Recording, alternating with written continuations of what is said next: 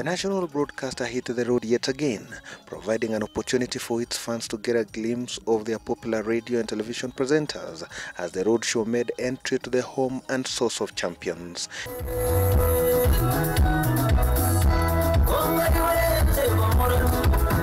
The roadshow provided a colorful brand of entertainment for the many listeners and viewers who turned up for the masterpiece. An expectant crowd greeted the KBC SportPesa and Madison Insurance Roadshow as it toured parts of Rift Valley popular with world-leading athletes. We know KBC has a reach out there. So many places, so many people watch KBC. So it's a good thing. It's a good thing because of the viewership and everything. So we know that the coverage will be good and also it's also good for our brand.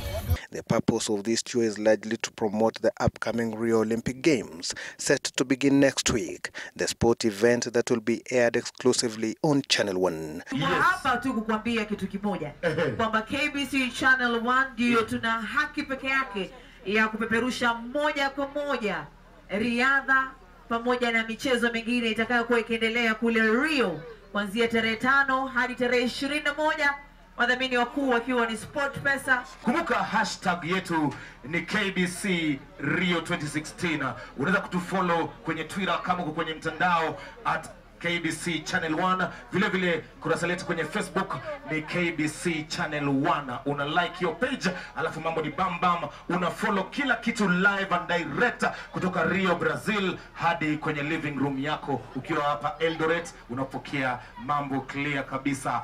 Those in attendance were usually entertained by popular local gospel and secular musicians who were here courtesy of the national broadcaster.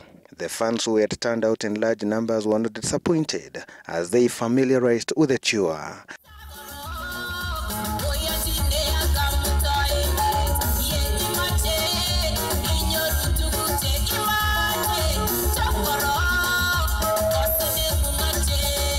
In its characteristic lively version, the fans kept trooping at every stop to enjoy the thrilling entertainment on offer. We offer mostly covers and uh, insurance, uh, mostly insurance covers for our people.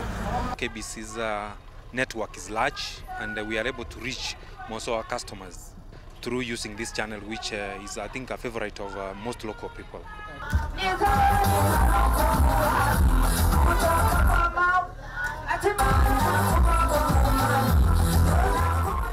Climax of the roadshow was Iten Town in Elgeyo Marakwet and later at 64 Stadium in Eldoret, where many thronged the venues for a treat by the three brands.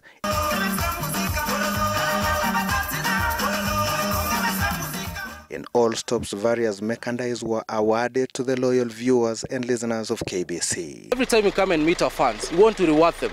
And that's why we have some brand and merchandise to make sure even after we leave, uh, they're able to remember that KBC was here and we created an, an impact. The national broadcaster concluded its tour of the region by visiting areas of Wasingishu and Nani counties. But it will not end here, as KBC will ensure you will not miss out on any part of the action from Rio next week.